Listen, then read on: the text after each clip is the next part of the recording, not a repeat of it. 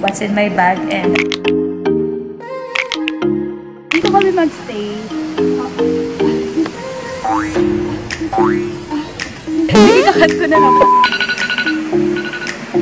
Hi guys! Welcome back to my YouTube channel. Hey, it's me, Paris. For this vlog, I will be trying to bring you with me since I have my flight today and I will be preparing. So let's go!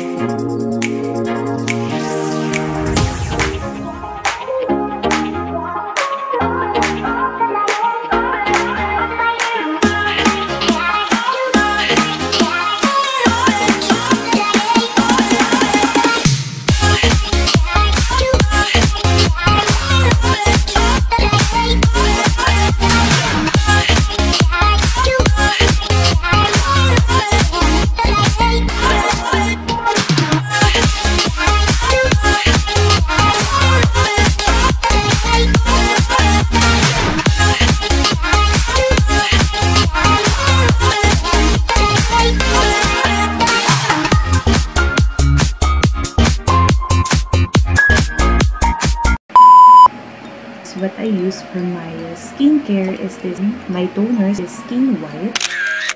My moisturizer is this Celatec Thermoscience Sun Care. This is moisturizer. It has SPF 30.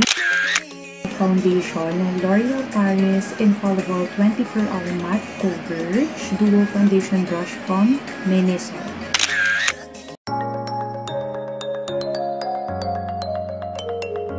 I don't use concealer when the foundation has high coverage. For my eyebrows, I will use this Detail Makeover Make Brow Palette, an eyebrow brush from L'Oreal Paris.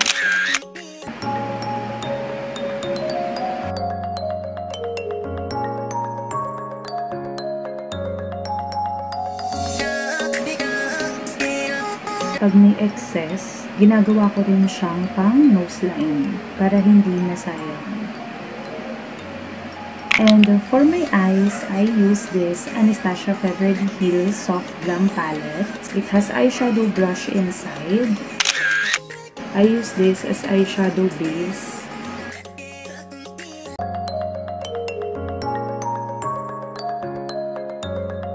For smoky eye, this too.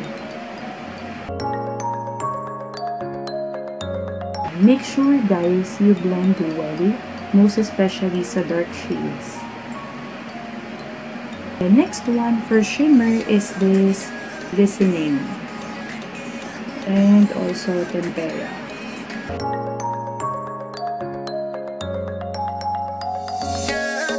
Also here. And for my eyelashes, I use this Nichido Eyelash Curler and L'Oreal Paris Voluminous Lash Paradise.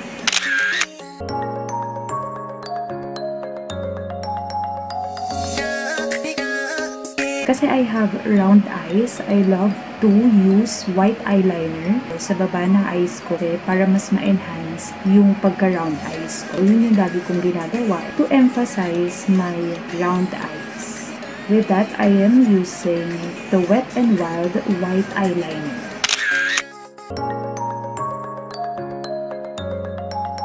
Since this new normal, ang full makeup lang talaga is my eyes. Then, dito sa baba, hindi ko na masyado mini-makeupan. Kasi nakamask naman tayo. Pero syempre, lagyan lang natin ng konting blush. Hindi naman siya ganong napupuna sa mask. I have this Lick Rose Gold Blush Face Form Palette. Contour Blush on Brush from Renaissance. Ayan, konti lang. Lagay lang tayo konti ng shimmer. Yan. I have this sugar-coated PH PPE Proof Mask for our lips. Hindi siya napupunas once na nag-set siya. This one is the Jelly Bean Ice Cream shade. Mag-set na tayo. I have this Kat Von D Translucent Setting Powder. Yan, I'm all set and done. Yung hair ko sa office ko na siya inaayos since pinapatuyo ko muna siya. Mag-uniform lang ako and I'll be right back. Andiyan na yung sundo natin. Magpamask tayo and face shield. So, let's go!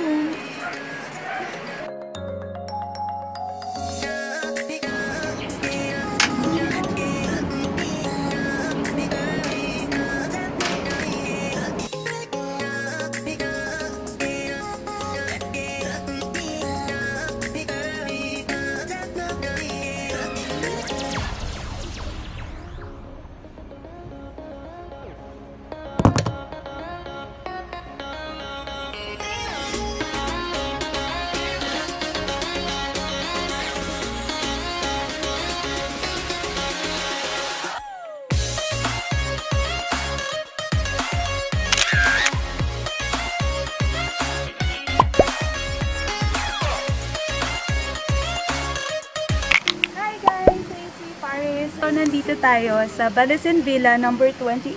Come with me. Itutur ko kayo. Dito kami magstay. Oh. Sige, kakat ko na lang po. Let's go! We will be staying here until 1 o'clock p.m. and long waiting kami. So, gamitin na rin natin yung opportunity na i-tour ko kayo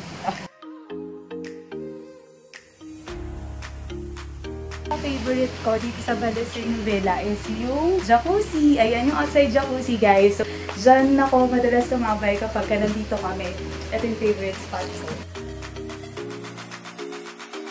We have these two outside here. So, free kayo mag-relax? Feel the nature. Outside the bed, guys. This is one of that makes this villa very unique.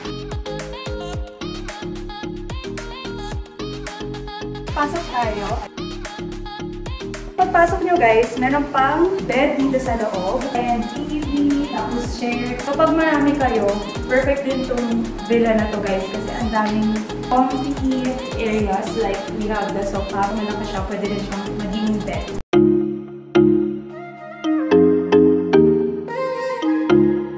We have this complimentary set, automatic coffee machine,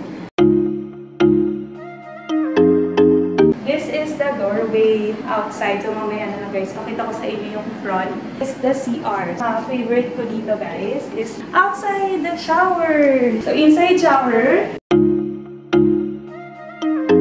And ito yung outside shower. Vibe niya is lang sa ibang bansa.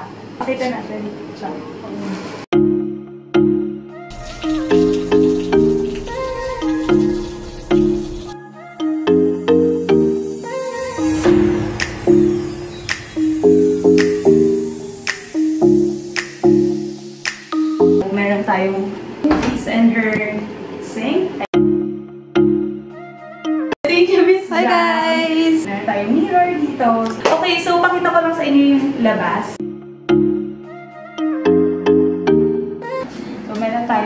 Card. O, di ba? Automatic ang siya.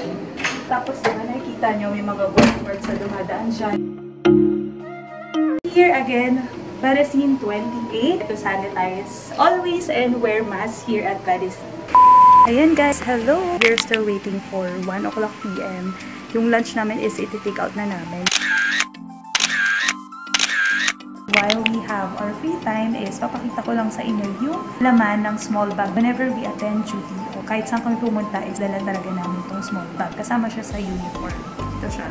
First one is we have wallet. We need the money and this COVID-19 pandemic cashless. So, usually naka-card ako. Hindi ako nagka-cash para iwas na rin yung transfer ng virus. Next one is I have this small pouch, this power bank, Wi-Fi.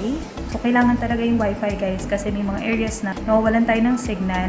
Kahit na walang signal, at least we have internet connection. Next one, very important these days, antibacterial wipes. Since dry hands talaga ako, most especially sa hands, I have this Human Nature hand foot soap menthol eucalyptus. It helps for the hands na mas mag-soften. Since, syempre, pandemic time, kailangan natin mag-wash ng hands. Liquid soap.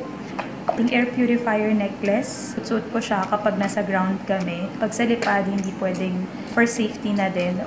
Ito, lagayan ng checks or kaya ng money. This keychain is nabili ko sa Taiwan. Ayun, boba. milk tea. And then, I have extra phone and yung isang phone ko with me. And yes, yung charger, kasama din yan. Another lotion. This one has SPF and aloe vera kasi dry skin talaga ako guys. If you become a flight attendant, very important yung pag-drink ng water and moisturizing lotion. Then, our company ID, some candies, and yung keys ng bahay namin. I have here this blotting powder from Kat Von D. Sobrang ganda nito guys. Pag nagpapawis is ito yung ginagamit. Extra handkerchief, extra masks. So I have here washable and surgical masks. Plus the alcohol guys. This one is hairspray container. Nilagyan ko na lang siya ng alcohol kasi sayang din, di ba? Ginawa ko siyang alcohol bottle. Don't forget to sanitize, always wash your hands, and wear mask and face shield. Yes, that's all for our small bag what's in my bag and it's still early. Balikan ko kayo guys. And yes guys, I am back. Nag-bathrobe muna ako para mas makagalaw ng maayos. Yes, may papakita ko sa inyo. Guess what kung sino yung kasama ko? Ayan, papakita ko sa inyo. So yan, ito siya guys.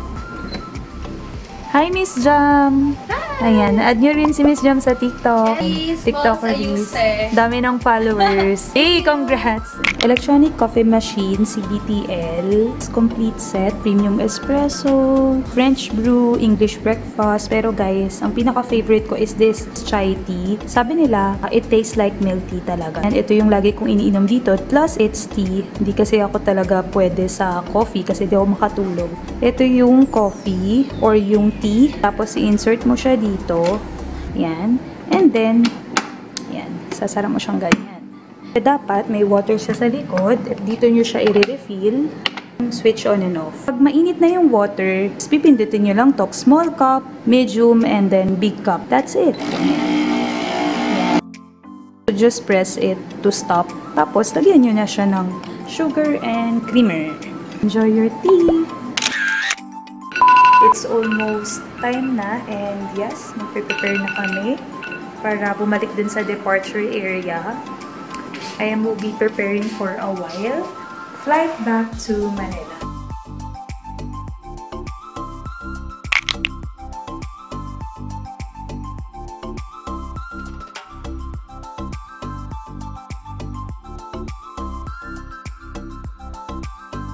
I miss this cutie.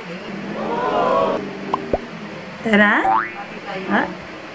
Pag uwi ko, nagsasanitize and disinfect din ako ng mga gamit ko. Ito siya. Ayan. Nagpalit na rin ako ng damit. And yes, maghihilamos na ako. I'll just eat. Hope you like this video. If you have any comments, suggestions, questions, just drop your thoughts below. Fly with you soon. Thank you for watching.